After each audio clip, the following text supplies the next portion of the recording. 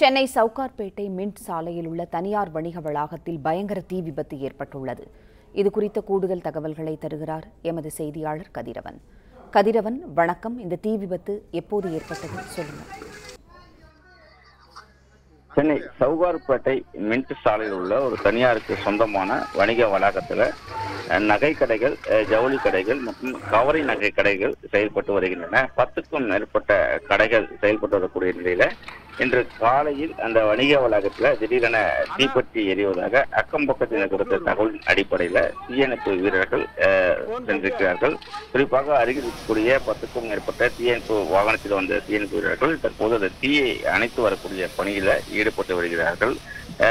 முதற்கட்ட விசாரணையில அருகில் இருக்கக்கூடிய டிரான்ஸ்பார்மர்ல ஏற்பட்ட தீ விபத்து ஆனது அருகில் இருக்கக்கூடிய ஜவுளி கடைக்கு பரவி அதனைத் தொடர்ந்து மற்ற கடைகளுக்கும் இந்த தீ தீ விபத்து தீயானது பரவி இருப்பது தெரிய வந்திருக்குது.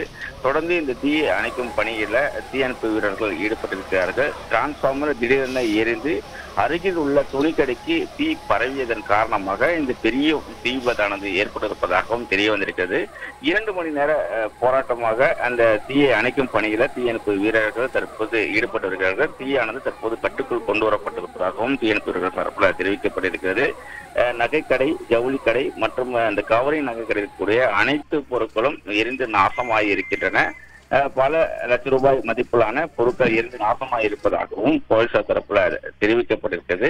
அஹ், இது குறித்து யானைக்கவனி போலீசார் விசாரணை மேற்கொண்டு வருகிறார்கள். இந்த டிரான்ஸ்பார்மர்ல ஏற்பட்ட தீ விபத்து காரணமாக தான் இந்த மற்ற கடைகளுக்கு இந்த தீயானது பரவி இந்த தீ விபத்து ஏற்பட்டதாகவும் முதற்கட்ட விசாரணைகள் தெரிய வந்திருப்பதாக தெரிவிக்கப்பட்டிருக்கிறது தொடர்ந்து இந்த தீ விபத்துக்கான காரணங்கள் குறித்து விசாரணை நடைபெற்று வருவதாகவும் தெரிவிக்கப்பட்டிருக்கிறது. பத்துக்கும் மேற்பட்ட தீயணைப்பு வாகனங்கள் வந்த தீயணைப்பு வீரர்கள் தற்போது இந்த தீயை அணைக்கும் பணியில் ஈடுபட்டு வருகிறார்கள்.